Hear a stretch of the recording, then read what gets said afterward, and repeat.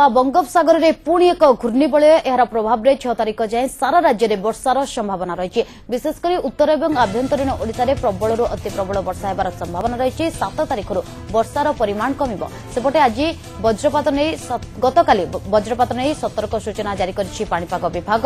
ଉତ୍ତର ଓଡ଼ିଶା ଏବଂ ଆଭ୍ୟନ୍ତରୀଣ ଓଡ଼ିଶା ସମେତ ଉପକୂଳ ଓଡ଼ିଶାରେ ଏହି ବଜ୍ରପାତର ସମ୍ଭାବନା ଅଧିକ ରହିଛି। ଦିନ ଗୋଟାଏରୁ ପାଞ୍ଚଟା ପର୍ଯ୍ୟନ୍ତ ବଜ୍ରପାତ ନେଇ ସତର୍କ ରହିବାକୁ ପରାମର୍ଶ ଦେଇଛି ପାଣିପାଗ ବିଭାଗ।